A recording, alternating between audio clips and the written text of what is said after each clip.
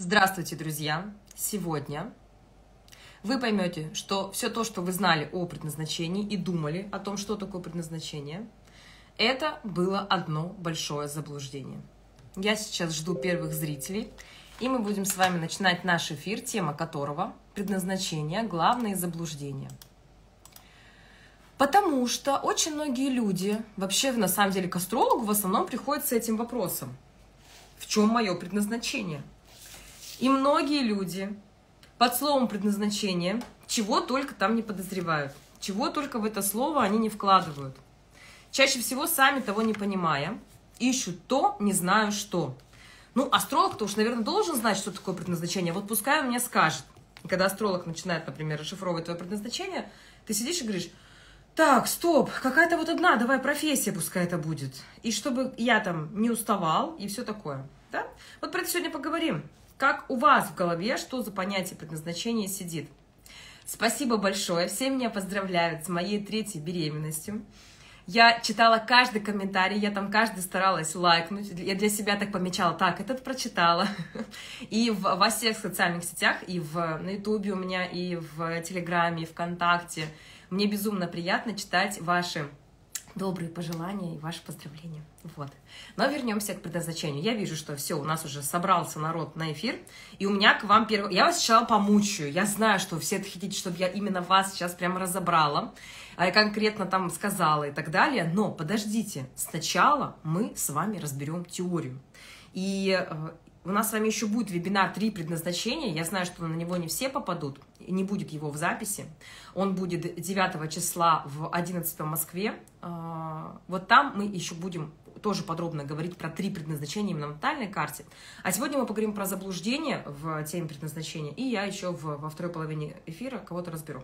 Но сейчас, пожалуйста, не надо писать там какие-то даты или еще что-то. У нас, ну, как минимум, там 10, 15, 20 минут, это теоретическая часть.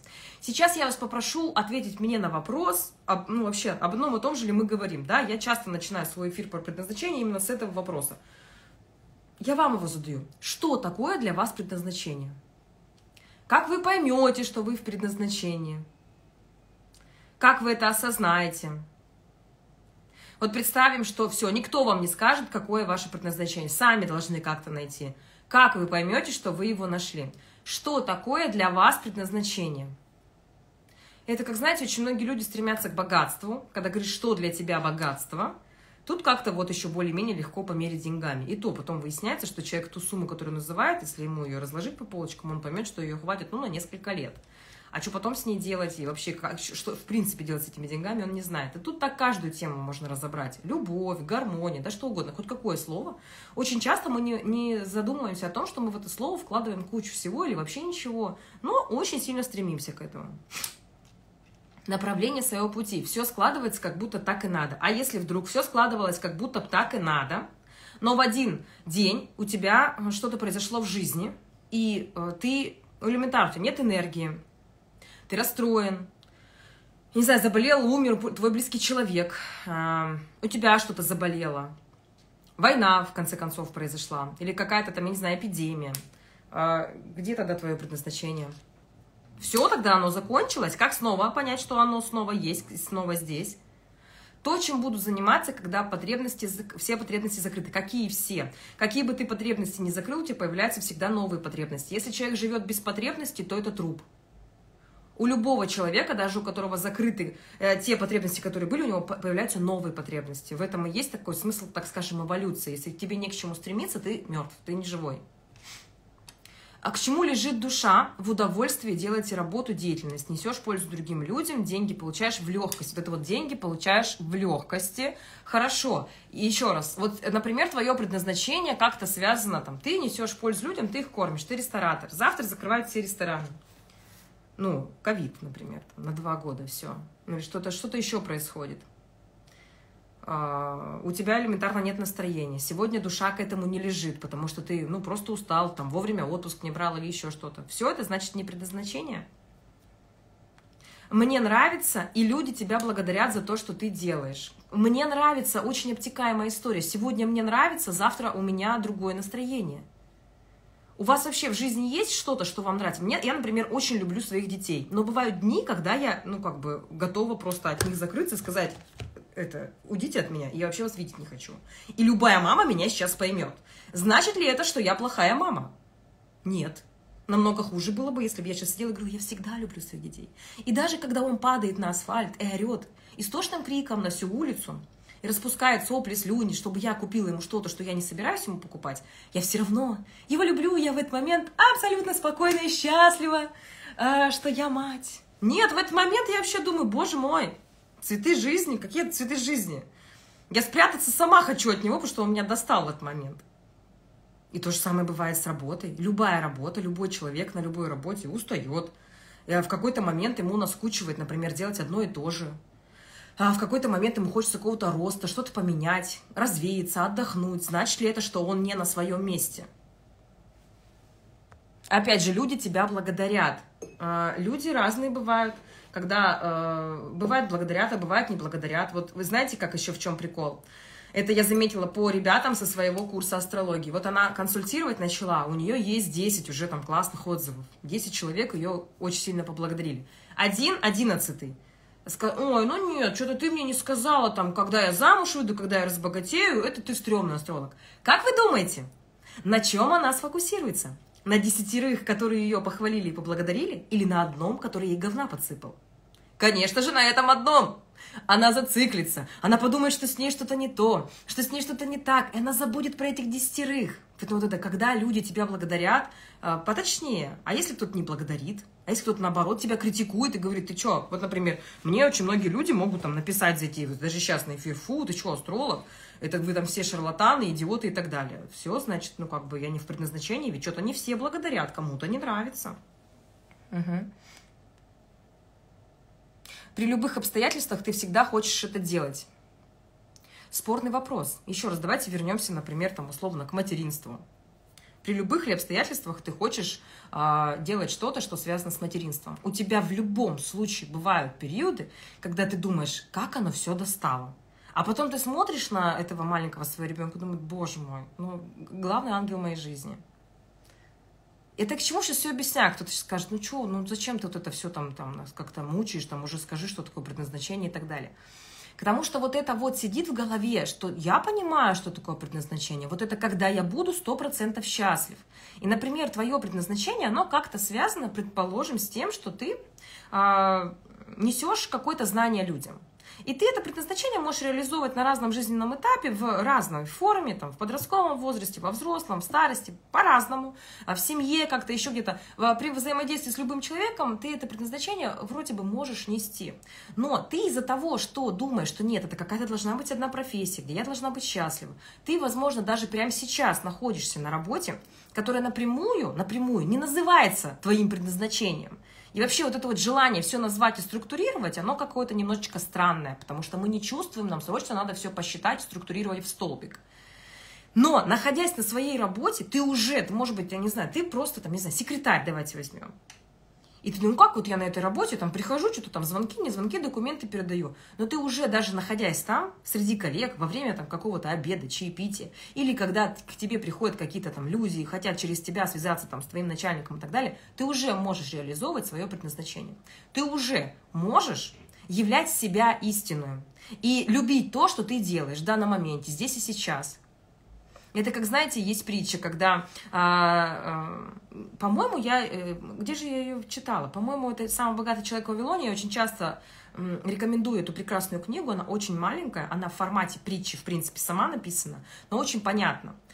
И, э, собственно, там про это и речь, что э, вот все стремятся сразу попасть куда-то в богатство, в успех, в какую-то социальную эту реализацию, недооценивая вот это маленьких шагов и недооценивая того, что на каждом из этапов ты можешь реализовывать свое предназначение. На каждом из этапов, даже моя полы сейчас где-то. Я хочу вам так сказать, что я вот так вот официально, вот так, публичный астролог не так давно. Астрологией, да, я занимаюсь давно, но долгое время я работала не астрологом официально. Но при этом и когда я работала продавцом, и когда я работала руководителем филиала, и когда у меня был бизнес, я везде реализовывала свое предназначение. И везде я могла уставать, лениться, хотеть сменить свою профессию и так далее. Но я была всегда уверена в одном, что у меня есть внутренний стержень. Это я. Я всегда есть у меня. Мир меняется. В мире могут не нужны быть те профессии, которые нужны сейчас. В мире а, может элементарно поменяться обстановка. Сегодня вот у меня все хорошо в городе, завтра все плохо. И нужно уезжать, переезжать или еще что-то. Люди, окружающие меня, они не вечны. И я не питаю иллюзий того, что мы все проживем там до миллиона лет. Рано или поздно будут уходить близкие люди, болеть и так далее. Будут какие-то ситуации в жизни происходить. Я не питаю иллюзий, что всего можно избежать. Всего давайте спрячемся куда-то, правильно, правильно спрогнозируем. Бред, если вам хоть один астролог говорит, что он вам поможет избежать вообще всех ваших э, жизненных циклов и просто жить всегда в комфорте, это не астролог. Это человек, который играет на чувстве вашего страха и хочет с вас побольше денежки заработать. Безусловно, можно обойти острые углы, а, использовать свой потенциал. Но даже если ты используешь его на все 100, ты все равно, понимаете, у нас природа циклична, и мы цикличны. А, нет такого, что жизнь — это ровная линия или там одна ровная линия вверх. Это всегда путь с определенными остановками, провалами, подъемами. В этом и есть сила. И в этом и есть развитие души. Но смысл в том, что когда вы думаете, что это одна профессия, в которой у вас все будет хорошо получаться, вы себе обрубаете на этом моменте путь к своему предназначению сразу. Сразу. Потому что какая бы эта профессия ни была, сегодня, например, вот очень многие сейчас пойдут учиться на астролога, у меня стартует курс. И э, вы можете, так, все, астролог – это мое предназначение. Я же учусь на астролога, это мое предназначение, я буду работать астрологом. Сегодня ты работаешь астрологом. Год, два, пять ты работаешь астрологом. Потом вдруг, вдруг что-то случается, что ты не можешь работать астрологом. Я не знаю, что происходит какой-то огромный э, этот локдаун, блэкаут, как он называется, когда все, интернета, например, нет вот нет интернета, или что-то, не знаю, какое-то стихийное бедствие случилось, ты где-то закрыто, а, и ты не можешь там консультировать, вести социальные сети и так далее. Все, твое предназначение кончилось? Можно в гроб ложиться или как? Нет. Давайте здесь подумаем. И следующий вопрос, который я хочу вам задать, я, я на этот вопрос отвечу, вы не переживайте. Я хочу, чтобы вы включили тоже голову и подумали, потому что когда я просто говорю, вещаю, и такая, записывайте за мной, да, ну это как бы тоже хорошая история, но когда вы сами подумали, когда у вас тоже поработало, когда вы поотвечали на вопросы, когда еще вы позлились немножко, что что-то она не то нам говорит, тогда оно лучше запомнилось. Поэтому все во благо вам. И следующий у меня к вам вопрос. Напишите мне конкретных людей, хотя бы там одного, двух, трех, кто реализовал свое предназначение. По вашему мнению, естественно. Блэкаут, да, локдаун. Видите, как бывает? Угу. Вот опять же, иногда бывает так, что ты интуитивно выбрал профессию, она же есть твое предназначение. Ну что за лютый, вот, лютое заблуждение? Смотрите, я выбрала профессию, она вот все, моя. Она и мое предназначение, как мне Я себя ограничиваю вот этим, она мое предназначение. Я могу в профессии реализовывать свое предназначение, но профессия сама по себе не может быть предназначением. Потому что завтра, например, эту профессию отменяют в стране. Или, например, ее заменяет искусственный интеллект. Или, например, появляется другая профессия, которая тоже моя. Давайте возьмем 20 лет назад. Были SMM-менеджеры, например, сторисмейкеры. Были они все? Где вот? Кто вот сейчас? Это огромная такая ниша, где люди зарабатывают очень хорошие деньги закупщики рекламы у блогеров, вот эти вот все люди, они же сейчас этим занимаются. 20 лет назад их не было. Вот в этом формате. И что теперь? Получается, что может быть через 10, 15, 20 лет будут же еще какие-то профессии. Вы о них не знаете. Но вы себя ограничили, что мое предназначение только врач, там, или только учитель, или только астролог. Все, я не вижу другого вообще ничего. Это мое предназначение. И получается, вы настолько уязвимы, потому что завтра вы уходите, условно говоря, в декрет, и все, и все, ваше предназначение куда? На три года улетело куда-то? Или что-то случилось с вашей профессией, что вы не можете продолжать именно ее в том формате, в котором она была? Все, значит, на помойку вас, ненужный человечек в этом мире. Привязывать предназначение к профессии в корне неверно. Точка. Запомните это, я вас умоляю. Предназначение – это э, значимость человека, это его таланты, его способности, его потенциал, который он реализует на протяжении всей своей жизни, в разном жизненном контексте абсолютно. Я сегодня еще попривожу примеры, чтобы было точно понятно. Да, на каком-то отрезке жизни человек может реализовывать свое предназначение через профессию. При этом на этом отрезке жизни, и это может быть пять разных профессий, даже называться будут по-разному, в разных областях, но он везде будет реализовывать свое предназначение.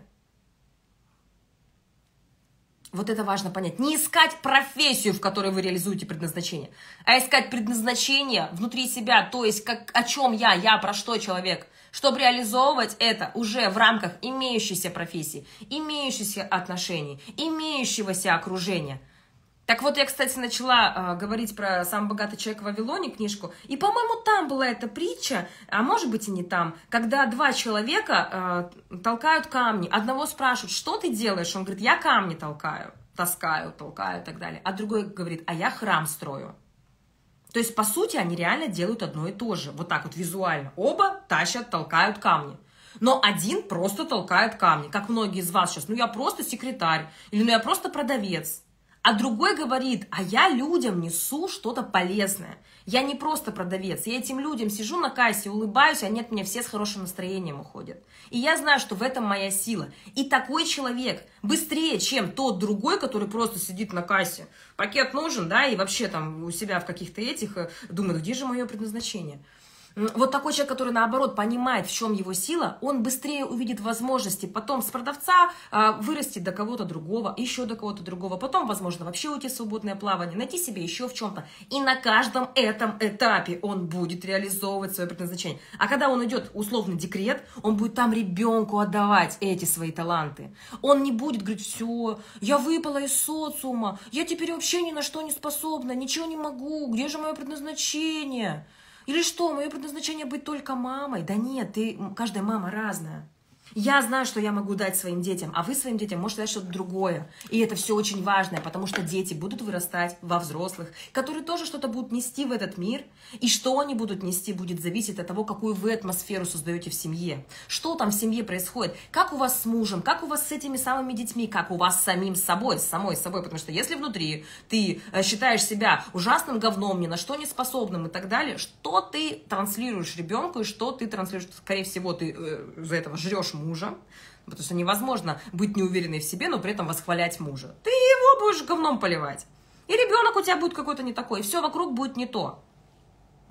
Предназначения просто нет. Вот, наверное, надо одно предназначение найти, и тогда все наладится. Да нифига так не работает. Изнутри наружу.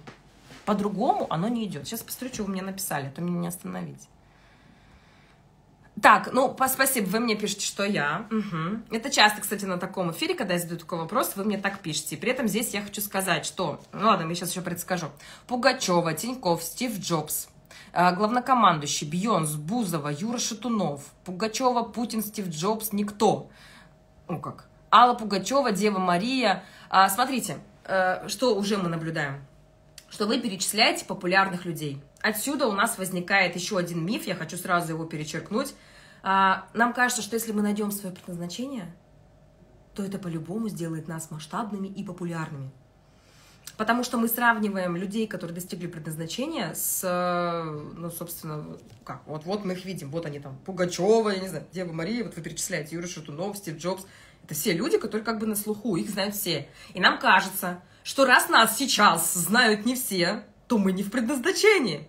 У многих из вас сидит такая пуля, просто вы ее не осознаете. Вам может казаться, но я не делаю ничего особенного. Ну вот, например, ты вот сейчас ведешь эфир, Лилия, у тебя там 390 тысяч подписчиков в Инстаграме, тебя там знают, смотрят и так далее. А вот меня столько не знают. Значит, ты в предназначении, а я нет. Хотя меня сейчас многие из вас смотрят астрологи, у которых может быть там, я не знаю, 300 подписчиков всего. Но при этом вам может казаться, что я в предназначении, а вы нет. Типа, ну у меня же там есть какая-то популярность там больше, чем у вас, и заработок больше, чем у вас. Ничего, что я тоже когда-то с чего-то начинала, это ладно. Это зачем нам об этом думать? А когда я тогда начинала, я что, не была в предназначении, получается, или как? Дальше у меня к вам следующий вопрос. Вот кого вы написали, найдите биографию этого человека и почитайте его в целом жизнь, как она у него проходит, проходила, если это человек жив и так далее. То есть, если жив, то сейчас как проходит, если умер, как проходила. Чаще всего у этих людей в жизни бывают очень серьезные потрясения. И они не всегда чувствуют себя в своей профессии идеально и классно.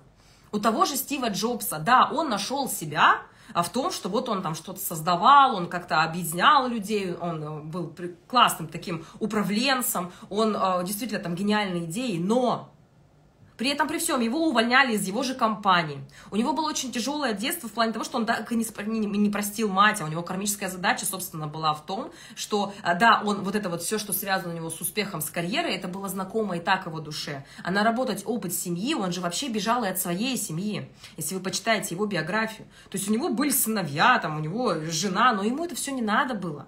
И мы как-то на одном из уроков, по-моему, на курсе разбирали его, где мы прям по возрастам смотрели, когда его увольняли из компании, когда его жизнь пихала обратно в семью. То есть у него же были еще и свои задачи.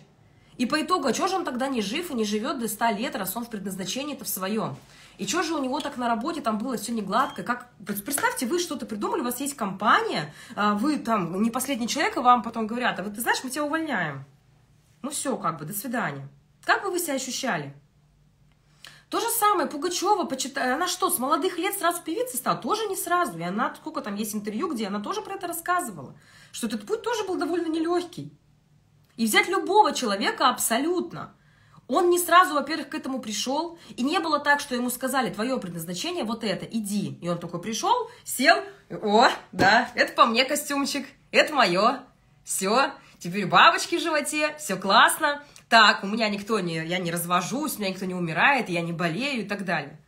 Есть люди, которых часто перечисляют в, в, в, вот в этом э, списке, да, у которых умирали дети, умирали мужья, которые теряли там все, которые были в банкротстве. Я когда слушала, помню, э, биографию Илона Маска, я думаю, боже, я бы уже на этом этапе сдалась. То есть вот у меня бы уже силенок не хватило вот так вот рисковать. Не то, что даже сдалась, я бы здесь уже остановилась. Вот где он там продал PayPal, там заработал кучу денег, и он взял просто все эти деньги вложил, да, дальше у него там свои фантазии, свои мечты. Думаю, я бы так даже и не рискнула. И сколько раз он терял, сколько раз он был на грани, сколько раз они запускали эту свою ракету, и она у них э, никуда не улетала, и они теряли кучу денег, он понимал, что ему нечем заплатить, и все вот это вот остальное. Нам, когда он богаче, у него там есть, только у него и потери больше, чем у нас. И поэтому вот этот вот, вот вы до этого писали, это когда ты чувствуешь, тебе хочется это делать. А с чего вы взяли, что всех людей, которые вы перечислили, им всегда хочется это делать? С чего вы взяли, что у них не бывает выгораний? Вот кто перечислил меня? У меня бывали выгорания, знатные такие выгорания бывали. Что просто, я, я, ну, у меня, как, вот сегодня у нас как раз был разговор с мужем, он говорит, у тебя такая интересная особенность, у тебя мозг как будто бы вообще не видит границ, ты все делаешь, как, готово там целыми днями, ночами работать, а тело порой как будто бы не вывозит. И вот у меня, и, и, и мы вспоминали момент, когда у меня реально так было, что тело просто вот не вывезло в один момент. И я просто выгорела. И таких ситуаций у меня по жизни было несколько, когда я недооценивала где-то свои силы. И это может случиться на любимой работе. Выгорание случается на любимой работе. Понятна мысль, о чем я сейчас говорю? Или кто-то хочет поспорить? Угу. Да. Я обожаю читать биографии людей, которые многого достигли, и вам советую делать это же. А, одно время это очень сильно открыло мне глаза, потому что я тоже жила там в свои, я не знаю, там 23-24 года, ну, то есть там лет 10, да, назад, а, в каком-то таком заблуждении, что люди, у которых есть бизнес, ну, они-то что-то там понимают, это я не понимаю чего-то до конца. Люди, у которых там есть какой-то успех и большие деньги, они просто что-то знают, чего я не знаю. И когда я начала читать биографии, людей, которые, да, многого достигли, я поняла, что такие же люди, как я. У них такие же страхи, у них такие же потери. Просто с каждым новым этапом они просто-напросто теряют, как бы, мне вот с моей там э, точки, да, кажется, что там он потерял миллион долларов, боже, ну, как бы, э, как это вообще такое, ну, ну, у него, наверное, там дофига денег, и для него там этот миллион долларов ничего не значит, но для него потерять этот миллион долларов, как для меня, например, тогда на том этапе потерять, я не знаю, 100 э, тысяч рублей, и тогда для меня это тоже были большие деньги. И то есть, когда ты начинаешь понимать, что а, просто как бы масштаб выше, но проблемы, как бы, условно говоря, те же, только как бы контекст другой, да, и ответственности больше. Ты начинаешь расширять для себя рамки сознательно, начинаешь убирать эти ограничения, что как бы ты тоже так можешь. И только тогда ты к чему-то идешь. Из того, что я могу вспомнить, что на меня произвело впечатление, что, правда, я советую почитать. Фил Найт мне понравилась, биография его. Ричард Брэнсон, несколько книг его я читала. Про того же Илона Маска, это не автобиография, он не сам, естественно, это писал, но интересно. Про создателя Али Баба, да, забыла, как его зовут, Джек Ма, по-моему. Книга сама по себе как бы не очень, но сама его история, то, как он вообще все это пришло ему в голову, как тоже он рисковал, и как вот действительно, это сейчас мы оглядываемся назад и думаем, ну правда, вот он там в нужное время, в нужном месте, но тогда так не казалось ему. Тот же Стив Джобс. И еще, ну, может быть, я кого-то не вспомнила, кого бы я здесь по-хорошему надо перечислить. Я много очень читала разных биографий. Но это очень классно мотивирует и показывает тебе мышление того человека, который чего-то достиг. И ты видишь, что ему никто не давал гарантий. А многие люди, когда, а, знаете, я вам вот сейчас скажу, признайтесь сами себе, когда вы говорите, я хочу знать свое предназначение, это звучит, если перевести по-честному, вот того, что вы говорите на честный язык, я хочу гарантий, где у меня точно все получится, где я не буду ошибаться и где мне будет легко. И чтобы еще всем это вокруг нравилось, не только мне, чтобы меня еще все благодарили. Где-то есть такие гарантии? Скажите, покажите мне человека, у которого есть такие гарантии. У вас есть иллюзия, что такое есть. И у меня когда-то была такая иллюзия. Вот вы смотрите на меня и думаете, ну у тебя же там точно все довольны, ты там хорошо зарабатываешь, у тебя все хорошо и так далее. Там, это твоя любимая работа. Но почему-то вы не думаете о том, что помимо работы у меня есть какая-то еще другая часть жизни, где, например, у меня э, приболел ребенок, и мне никакая работа в этот момент вообще не интересна и не нужна. Все. Я сижу, и у него температура 40, и мне вообще ну, наплевать на эту работу. И если мне скажут, выбирай ребенок или работа, естественно, я ребенка в этот момент выберу. Понятно, да? что как бы вот в этот момент хоть какая там работа прекрасная, все пропало из зоны моей, моей видимости. Только ребенок для меня сейчас существует. А если что-то посерьезнее в жизни случается? То же самое, понимаете? Поэтому нет такого, что вот если у тебя одно какое-то предназначение, ты в нем всегда счастлив. И привязывать предназначение к профессии – это самая главная ошибка. И я еще с вами поговорю про на следующем эфире, который будет, а то сегодня мы уже немножко задержались, который будет 8 числа. Мы поговорим с вами про кармические задачи. Приходите, я как раз там затрону тему детей, а, потому что когда я а, озвучила, что одно из моих предназначений – тема детей, все, да, я там кучу сообщений в директ получила, как это посмотреть, и только ли там, и, и, и, там, а как тогда вы реализовываетесь, вот это вот все. А, потому что надо разделять предназначение, их, правда, несколько. И надо разделять, что такое кармическая задача, что такое предназначение, да, что...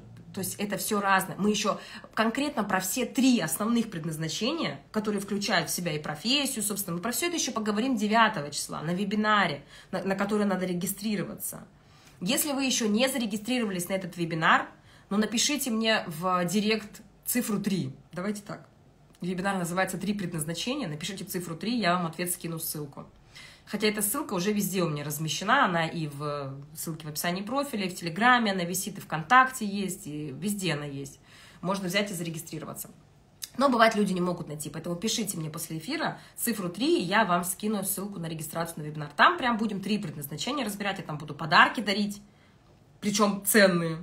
Так, там можно будет выиграть и мою консультацию, и участие на курсе, и разные продукты от астрологов моей команды. Это будет прям беспроигрышная лотерея. То есть там все равно вы что-то выиграете, если вы будете на вебинаре. Но это онлайн-вебинар, никакой записи не будет. Я вот сейчас наблюдаю, у нас сейчас предобучение открылось для э, ребят с закрытого канала, да, то есть это конкретно, вот эти уроки раньше были платные, им я открываю их бесплатно, э, домашние задания там есть для самопроверки, сертификат даем мы в конце, если ты тест проходишь. Что вы думаете? А, наверное, процентов 70 людей начали, но не продолжают. И я вам даже скажу больше, половина так и не дойдет до конца. Потому что люди не очень ценят, когда бесплатно и когда есть какой-то доступ.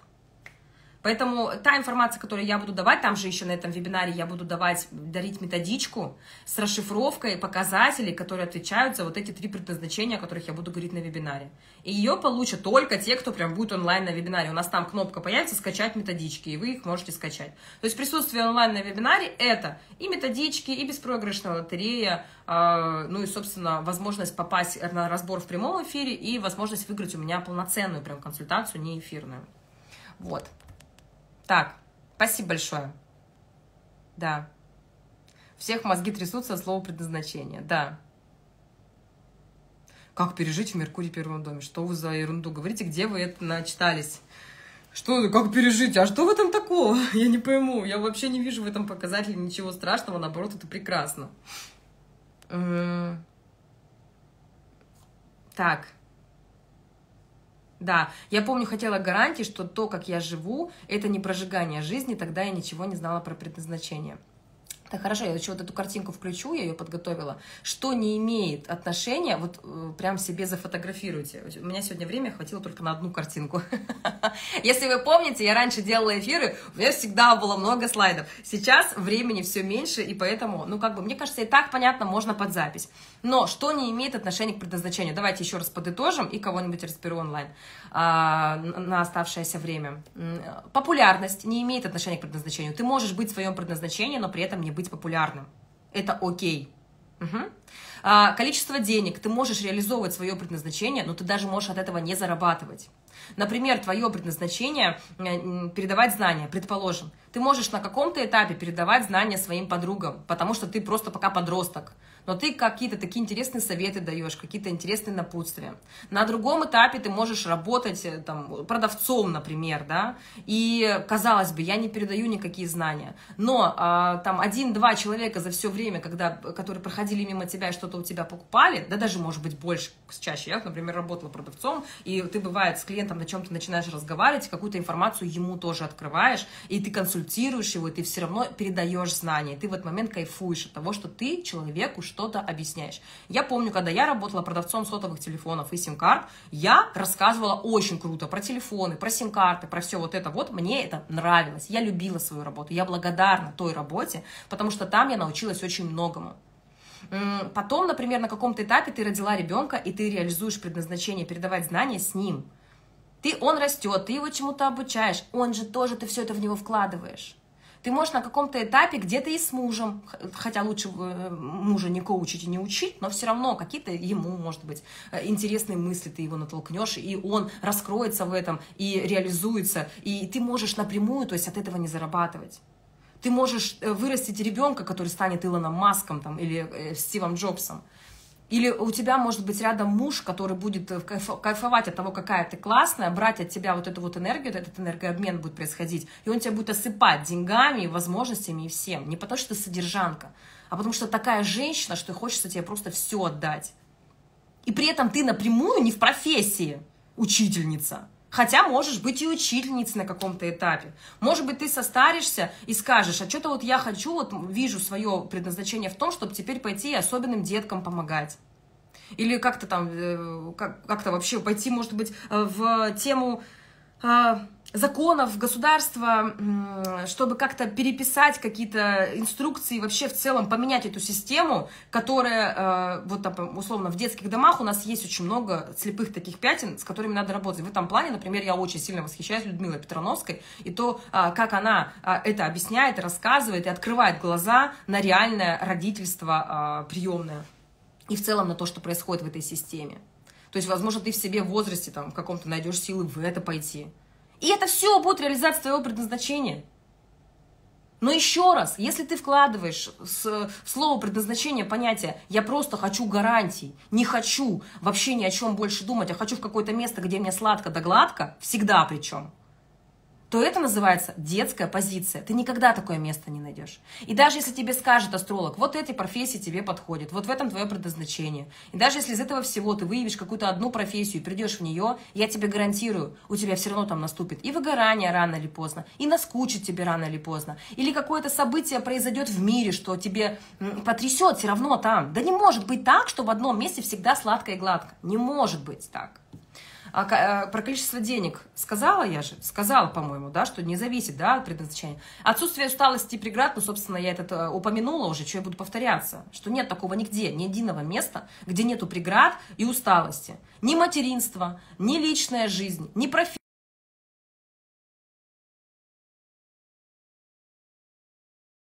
Так. Нет. Нормально? Меня слышно, то звонят какие-то всякие спамеры обычно, что такой номер у меня не записан. Слышно меня, видно, все окей, на чем мы там остановились?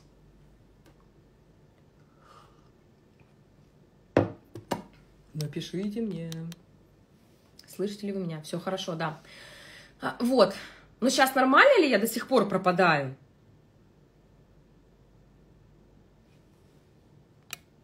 Все, ладно. Только один человек написал, что я пропадаю. Угу. Итак, у нас отсутствие усталости и преград – это вообще в целом детская позиция. Ты и в личной жизни устаешь, и в материнстве, и в карьере, да во всем. Да просто а, отправь тебя наслаждаться жизнью, ты устанешь и там. Вот просто посади тебя в красивый особняк, там у тебя будет море за окном, бассейны, там все тебя будут любить, обожать, ты год, два, три, четыре, пять, то ты рано или поздно устанешь. У тебя там свои начнутся проблемы. Лишний жир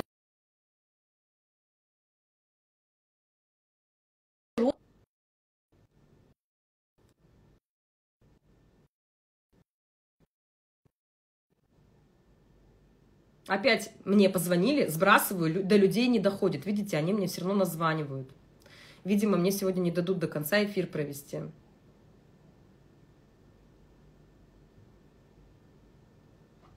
Я думаю, что сейчас должно быть нормально слышно. Да, я поняла, что я опять пропадаю, потому что какие-то ненормальные люди мне названивают. Если вы когда-то кому-то звоните и кто-то сбрасывает, не надо звонить второй раз сразу. Напишите. Сейчас есть WhatsApp, Telegram и все остальные мессенджеры. Угу. Я надеюсь, эти непонятливые люди прекратят мне звонить сейчас. Очень это надеюсь. А, соответственно, дальше, следующий пункт. Предназначение – это не одно и на всю жизнь. Типа там одна профессия, одна какая-то, один какой-то талант или еще что-то. Нет, во-первых, предназначений у нас несколько – и реализовывать мы их можем на разном жизненном этапе по-разному, окей? Это тоже донесла. Ну и предназначение это не конечная цель, которую ты узнал и счастлив. Типа, ой, мое предназначение быть врачом. Все?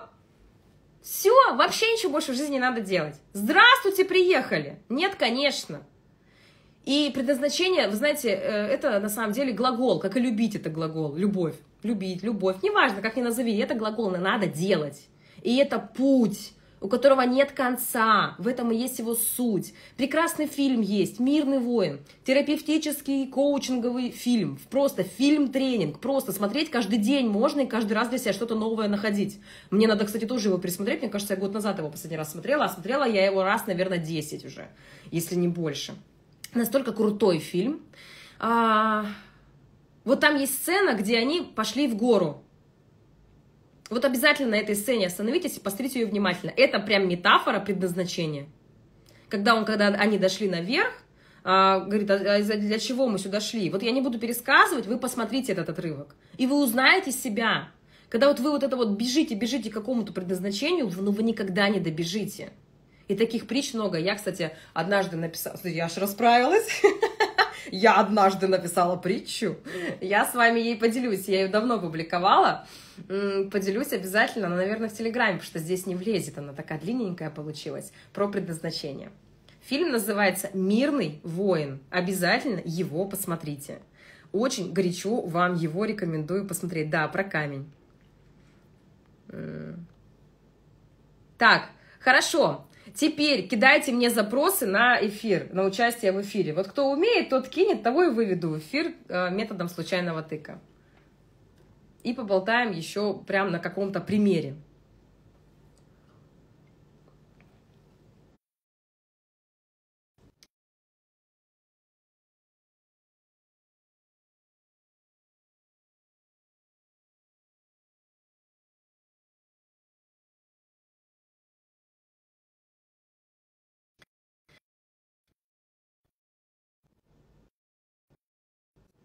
А, вот все, нормально, развисла.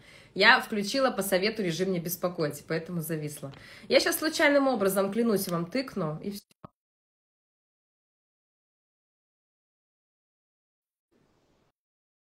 И пока выключу комментарии. У меня здесь больше 50 уже запросов есть. На кого-то одного уже тыкну. О, супер. Здравствуйте. Здравствуйте. Так, что-то лицо знакомое. Нет, я вас нигде не видела, ни на презентации книги, нигде? Нет. Нет. Угу. Так, вижу, что ник называется Оксана. Да. Так, Оксана, значит, да, зовут? Да. Так, Оксан, давай, диктуй мне свою дату, время рождения. Давай я к тебе буду на ты, чтобы мне так это самое не путалась я, а то я на ты, на вы. Говори дату рождения. 11.06.91. Угу. Время. 21.15. Угу. и место. Э, э, давайте Белая Церковь. Это Украина. Угу. Ты где-то рядом там родилась? Почему говоришь, давайте? 30 километров, ну не 30, а 75. Может, есть Володарка. То есть это Нет, 75 это нормально. Это, это как бы для если бы мы тебя прогнозировали, тогда, конечно, там прям по координатам надо построить и объектифицировать, но так как мы смотрим э, именно психологические и некие такие событийные склонности от рождения, то нам достаточно примерного времени рождения и примерного места рождения, то есть там плюс-минус там 70 километров, оно большой роли не играет. 11 июня 91 года, 21.15, Белая Церковь, правильно? Да. Отлично. А, ты мне сначала расскажи, пожалуйста, ты сейчас с кем работаешь и работаешь ли вообще? А, я работаю в сфере туризма, но как бы э, ощущаю выгорание очень сильное и хочу себя как бы э, реализовать в чем-то другом. Хотела бы попробовать вот тета-хилинг или бары, но как бы э, понимаю, что мне страшно идти, потому что ну, нужно очень много денег вложить в обучение. Uh-huh. И не понимаю, правда ли это мне нужно, uh-huh. или потому что как бы мне хочется помогать людям. Э, но я не знаю, это эм, со стороны спасателя, ну, как бы с треугольника спасателя, или это реально мне хочется. То есть, ну, когда я вижу, что э, как бы я помогаю, и люди получают удовольствие, я еще больше получаю удовольствие. Вот, э, поэтому вот как бы, ну вот, непонятно, мне нужно это или нет, или это просто пройдет, потому что я как бы очень быстро загораюсь, потом такая, ну, типа, да-да, нужно, все, я хочу, а потом проходит месяц, второй, я такая, ну, типа, мне уже не нужно, может что-то другое, и так, в принципе, если я не пробую сразу, то... А тебе хоть раз расшифровывали натальную карту? Да, есть, есть, есть. Ага. Тоже, да, да кто-то позвонил тебе? Да. Расшифровывали тебе хоть раз натальную карту? Потому что у тебя здесь на самом деле очень сильно очевидно это. Я думаю, если расшифровали, то должны были тебе это говорить. Честно говоря, я не помню, но э, э девочка, она училась. Сейчас, э, секунду, извините, пожалуйста. Угу.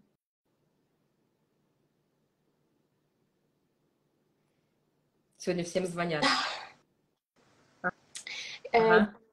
Когда-то расшифровывала, но я не помню. Мне говорили вроде бы как бы что-то учить людей. Ну, я не буду врать, не, как бы что-то мне не сильно, ну, тогда понравилась информация, как-то было много воды, и как бы я не смогла сформировать всю информацию угу. как-то в куб. Сейчас я попробую прям показать нашим участникам твою натальную карту. Вот, прекрасно. Прям видно. Смотри. А, ой, я прям могу даже ручкой показывать. А, вот видишь, это твоя натальная карта. Вот это твое ядро личности, Солнце и Луна, они оба находятся в близнецах, и тут же Меркурий, и все это в шестом доме. Причем Солнце на шестой и на седьмой дом работает. Вот здесь история такая, что вот сейчас мы еще вот к этому вернемся, потому что это не просто вот это здесь стоит, это все, э, на этом на всем сходится косой парус, который касается как раз-таки оси 2.8. И вот эта вот история рисковать деньгами, вот тут у тебя стоят, мне просто хочется просто сразу тебе все, понимаешь, выдать, я понимаю, что надо постепенно, но хочется прям сразу. А, вот, вот эта вот история, вот тут Юпитер, Марс, Венера, рискнуть, вот эти деньги вложить, даже, возможно, в кредит взять. Но Сатурн тянет и говорит, нет, вот во второй дом обратно, давай мы будем экономить, нам нужно все точно просчитать, нам нужно, чтобы точно все было четко. И вот когда вот этот конфликт у нас есть, его очень легко как раз-таки примирить тем, что меня реально тянет куда? Шестой дом. Это как раз-таки тема служения людям. Это еще называют дом врачей. Не просто так тебя тянет людям помогать. Это, конечно, это может быть в том числе где-то и твое эго, и треугольник Карпмана, но все-таки с этим, если ты поработаешь, ты в любом случае останешься с желанием нести что-то такое полезное людям, потому что твой шестой дом, и это не просто нести полезное. У нас, э, посмотри, у нас Меркурий, у нас всем управляет Меркурий, и он управляет и Солнцем, и Луной, и на нем, в принципе, замыкается цепочка, он здесь самый главный, у тебя самая главная планета в карте – это Меркурий. И, значит, помогать как? Через Меркурий. Меркурий – это что? Это речь, информация, обучение, это все, что касается через слово, а, через эм, какую-то вот именно информацию, через обучение и через руки еще кстати, момент, потому что у нас Меркурий а, это кисти рук. Кисти рук, и здесь у тебя реально, вот ты говоришь, что это хилинг, и что-то еще ты сказала. Это через руки, да, как раз. Угу. Ну вот, я, я и думаю, это через руки или нет. Потому что вообще тебе бы хорошо, тебе бы и рейки подошли тоже прекрасно. И ведь там не просто мы через руки лечим, мы там еще информацию даем, мы там еще человеку объясняем, как это работает. Потому что если ты просто через руки там что-то поводишь, это будет неполноценная сессия. Насколько я знаю, насколько у меня есть опыт, ты должна еще что-то информации передать. То есть ты должна человеку еще объяснить, как это устроено и что ему следует поменять. И поэтому вот этот твой треугольник, ты видишь, он касается 2.8, это ось ресурсов, это ось денег в том числе. И шестой дом – это как раз-таки твоя история, связанная с тем, что помогать людям, но помогать либо через информацию, речь и э, подобные вещи, либо через руки. Сейчас то, что ты работаешь в... Вот, э, дай-ка я верну, давай, я сейчас еще вернусь немножко к твоей карте. Сейчас то, что ты работаешь в туристическом бизнесе, э, ты тоже можешь на самом деле э, начать вот в это состояние входить, что ты несешь свое предназначение. Ты тоже несешь людям меркурианскую свою деятельность, ты несешь информацию, ты объясняешь им, какие там, где туры, какие, куда можно поехать. То есть ты э, и расширяешь им кругозор уже на этапе планирования путешествия. И ты можешь это делать из состояния уставшей лошади, такой, что, господи, вы меня достали, вам всем одно и то же рассказывать. А можешь на каждого клиента смотреть как на особенного. Почему ты думаешь, что если сейчас ты не, пере, не умеешь переключаться, то потом, например, занявшись тета-хиллингом, условно говоря, ты там через пять лет не будешь думать также на этих клиентов. Боже, да вы тут все достали меня, приходите, что вам нужно всем деньги, предназначение, господи, одно и то же. То есть там же тоже можно в это свалиться и выгореть, понимаешь? И поэтому вот это вот умение переключаться, умение ценить то, что у тебя есть, умение э, консультировать, умение работать из предназначения, тебе нужно тренировать его уже прямо сейчас. Опять звонят тебе?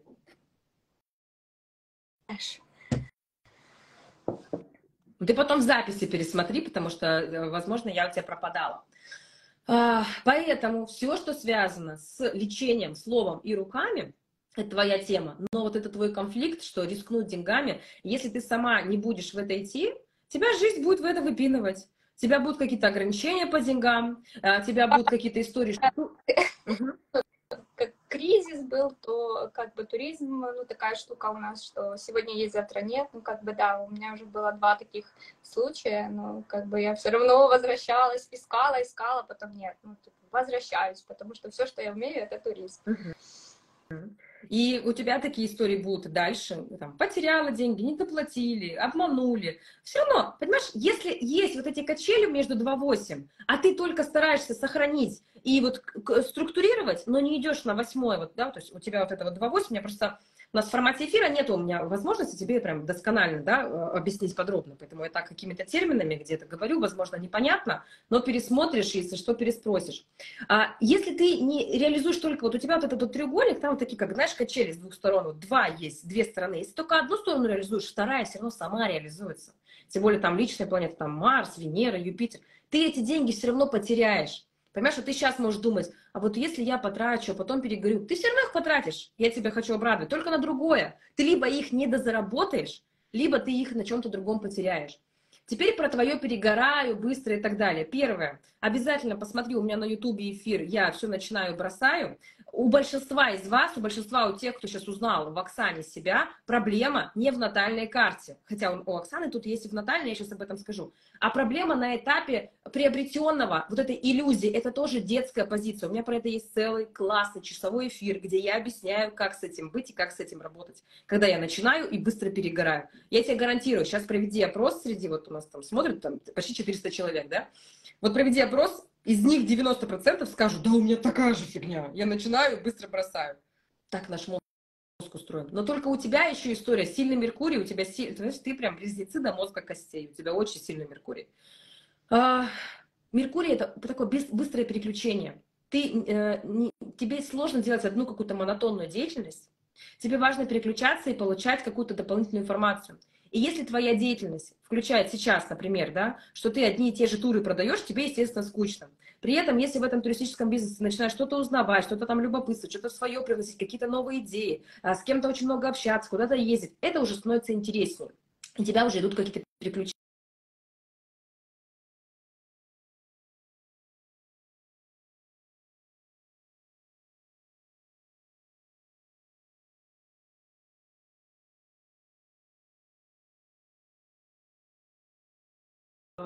Опять тебе звонят. Или что-то зависло у меня? Не, угу. я... все. Ну, ты подвисаешь. Угу. А, вот, и, соответственно, э, первое, посмотреть мой эфир обязательно, потому что, скорее всего, у тебя просто вот эта вот иллюзия, как у большинства людей, детская позиция все равно есть в этом. А второе, это история с тем, что тебе нужно переключаться и постоянно получать новые впечатления, и постоянно развеиваться. То есть там где-то после работы другим путем пройти, то есть какие-то хотя бы минимальные истории, там какую-то новую книгу прочитать, что-то новое узнать, с кем-то новым познакомиться. Тебе постоянно с таким Меркурием нужно получать ну, какие-то новые впечатления, новую информацию. Прямо э, после нашего эфира сегодня загугли, э, кто такой Меркурий, кто такой Гермес, посмотри какие-то сказки, мультики, почитай просто архетип сам, прочувствуй что это такое вот а, божество, э, да, если вот мы к какой-то мифологии вернемся, которое такое шустрое, быстрое, носится, где-то что-то кому-то передает. И вот это твой архетип. Только у тебя это еще связано с помощью людям. Шестой дом. Это как раз-таки в плюсовую историю, что я несу пользу, служу другим людям и у тебя там прям все ядро личности практически стоит. Помимо этого у тебя есть еще кармическое предназначение, которое как раз-таки связано с тем, чтобы отлипнуть от э, постоянного залипания на другого человека, что кто-то должен поддержать, кто-то должен помочь, какую-то поддержку других людях искать, а наоборот научиться действовать самостоятельно, научиться действовать и опираться на свои ресурсы в том числе. То есть прям повзрослеть, у тебя прям натуральное предназначение кармическое, в том числе повзрослеть и э, самостоятельную деятельность начать, причем у тебя тут еще и с Нептуном это все вместе. Вот эта вот история с эзотерикой, с психологией, где ты самостоятельно в это двигаешься, это прям твоя по всем фронтам обязательно. И еще и консультировать других людей, как-то взаимодействовать через а, передачу информации. Вот по всем, если даже трем предназначениям вот так прогнать, у тебя все с этим связано. Как тебе с этой информацией сейчас? А, знаете, ну, как бы я думала над этим, но э, мне кажется, что э, у меня мало информации, да, как-то страшно, что ты ничего не знаешь, что ты можешь передать людям, или ты будешь отдавать себя, выгодь, ну, что я буду отдавать себя, и потом как бы просто не будет сил, э, и я не смогу ну, твоя установка, твое убеждение, а, которое тебе помогает сейчас ничего не делать. Ну, я... Потому что пока ты так думаешь, не надо ничего делать, ведь как-то там вот оно, а вдруг я все силы потеряю, ну кто тебе мешает не терять их все, кто тебе мешает поэкспериментировать и понять, ага, вот, например, условно говоря, столько консультаций, я уже выдыхаюсь, а вот столько мне нормально. С чего ты взяла, что есть какой-то один момент, когда все становятся профессионалами? Никто не становится профессионалом без практики. Любой человек, астролог, тета-хиллер, нумеролог, неважно кто, он когда начинает свою практику, у него знаний пока теоретические только, ему надо с чего-то начать. Врач, ну, любой человек. И да, на, на первом этапе он будет делать работу, там, парикмахер, да кто угодно. Чуть хуже, чем он сможет ее потом через 10 лет делать. То есть он сейчас не начнет, он через 10 лет не будет профессионалом. И я тебе, я это говорю всем своим девчатам и ребятам на курсе, и тебе сейчас скажу, что те клиенты, которые к тебе будут приходить вот в этот момент, на, на, на начальном этапе твоей практики, а ваши души договорились, что им нужен именно тот опыт, который ты сейчас им можешь дать на этапе такого некого начинающего специалиста. Но только тебе нужно признать, что во мне есть эта сила нести пользу людям. И я пойду в это. Либо ты можешь сказать, блин, ну я же еще не профессионал, ну там надо много денег, но я что-то боюсь, а вдруг я всю себя отдам. Так работай с этим. Так выпиши все свои ограничения и подумай, а как можно по-другому? А где есть пример, кто делает по-другому? А что мне сделать, чтобы было по-другому? И это уже будет поиск возможностей, а не поиск причин. Если тебе нужно было подтверждение, я тебе вот гарантированно говорю, что это однозначно твое. И я это показала еще и на экране, и тебе любой другой астролог, который видит твою карту, это подтвердит. Потому что я начала говорить, я строю твою карту и думаю, если ей давали консультацию по натальной карте, ей по-любому должны были говорить, что это ее, потому что тут прям очевидно. Бывают неочевидные истории, бывает там все размазано по всей карте. У тебя прям очевидная история, вот это вот 2, 8, 6, 2, 8, 6, все это вместе, это просто прекрасно. Вот идти туда, куда ты собралась идти. И что еще тебе нужно? Волшебный пинок? Вот сегодня он был, считай. Вот все, вот на тебя почти там сейчас уже 340 человек смотрят и ждут, что э, а, все, они все свидетели того, что тебе эту информацию дали. Дальше дело за малым. Я тебе рекомендую после сегодняшнего эфира, да, мы сейчас уже будем заканчивать, потому что у нас время эфира подходит к концу, выписать для себя минимум три действия, которые ты сделаешь, которые ты ранее не делала, которые ты сделаешь именно после этого эфира, э, по э, в сторону своего предназначения. То есть что ты сделаешь вот после полученной информации? Сделаешь. Потому что информацию получить мы все можем. Это, кстати, вот ко всем на этом эфире, да, такое задание. Да, вы послушали, да, Лиля, классно, в вашем поле, спасибо за информацию, терапевтический эфир. А делать ты что будешь? Не только Оксана что будет делать, вы все что будете делать-то после какие-то три действия для себя выпишите, что вы уже в ближайшие дни сделаете, чтобы быть ближе к своему предназначению. Вот. Оксана, тебе последнее слово, и я буду тебя уже отключать и спрашивать э, у зрителей, может быть, у них есть вопросы, успею на какие-то парочку ответить. Говоря персонажа не ожидала, но э, это как послание Вселенной. Спасибо вам большое. Я, честно, просто так случайно попала, и ну, я в шоке. Меня просто вы говорили мурашки прям по коже. И, ну, Тело это уже как, знаете, Вселенная, дай мне знак. вот, ну, вот сейчас. Да. Э, спасибо вам большое за информацию, очень было полезно, и, ну, теперь, как бы, я свои сомнения уже отбрасываю в сторону и просто буду искать человека, у которого я могу это обучиться, и буду двигаться в сторону. Давай. Потому что, смотри, есть даже очень много бесплатной информации. Я тебе говорю, даже на моем примере, я даю людям бесплатное предобучение астрологии. Большинство из них говорят, мне нравится астрология, я хочу быть астрологом. Но половина из тех, кто так говорит, даже не начинают бесплатно учиться. Ищи на ютубе ролики, покупай книги, ищи блогеров, читай у них там эти посты, эфиры. Начни хотя бы впитывать. Если когда у нас нет денег, у нас есть время. Значит, мы пока можем заплатить своим временем, временем да, за бесплатную информацию. Потому что, когда мы платим деньги, она уже структурированная, платная, в одном месте, понятная с практикой. Поэтому я тебе даю прям такое напутствие, давай, иди делай, тебе вот все пишут, что у тебя получится, что ты молодец, и я тебе желаю персонально, вот я тебе сейчас на эфире желаю большой-большой удачи, чтобы все у тебя обязательно получилось. И посмотри мой эфир про то, что я начинаю и все бросаю. Он есть на моем ютубе. Скажите, астрологом тоже я могу быть? Ну, как бы это же тоже помощь Кон... людям. Консультировать, консультировать, да, а, именно помогать через слово. И хорошо, если ты будешь астрологом, который будет погружаться в тему психосоматики. То есть астролог, который работает еще, еще с темами здоровья. Это прям, если будет твоя специализация, это прям вообще будет офигенно. И если ты будешь, например, э, вот лечить руками, да, к примеру, ты консультируешь человека и понимаешь, где ему чего нужно подлечить. И то есть ты его диагностировала сначала по натальной карте, а потом подлечила. Вот у тебя твой шестой дом надо хорошо так прям использовать, 6, 2, 8. То есть тебе все равно надо как-то туда какую-то либо исцеление, либо медицину, что-то все равно туда привлечь. И тогда это вообще будет бомбический астролог, который будет отличаться от всех остальных. Спасибо всем. Хорошего дня. Спасибо тебе. Ты прекрасная такое у тебя прекрасное поле, когда тебя смотришь, и прям хочется улыбаться. Поэтому я уверена, все твои клиенты, которые будут э, твоими клиентами э, первыми в твоих начинаниях, они тоже будут рады находиться в твоем поле. Давай, не переживай, не сама себя не ограничивай, а только вперед. Тебе сейчас нужно нажать крестик, чтобы отключиться, а я еще сделаю объявление по поводу эфира. 8 числа. Вот смотрите, а, вот сейчас я разобрала Оксану. 8 числа я также кого-то разберу еще на тематику кармической задачи обязательно. 8 числа у меня будет эфир, мы с вами поговорим про кармические задачи, насколько это предназначение, если там оно противоречит со всем остальным и так далее. И вот я также там первые 20-30 минут говорю, но меня надо останавливать, я могу прям часа три говорить. А потом я разбираю человека. Это я тоже сейчас записываю бесплатный курс к метафорическим картам. Мне издательство пообещало, что они выйдут 24 сентября, но говорят, блин, может все вообще там до октября и до ноября задержаться. Я говорю, ну прекрасно. И я сейчас записываю курс, потому что когда вы будете покупать мою колоду метафорических карт, вам в подарок будет идти курс. Я думала, так, ну я кратко запишу, там по 5-10 минут уроки.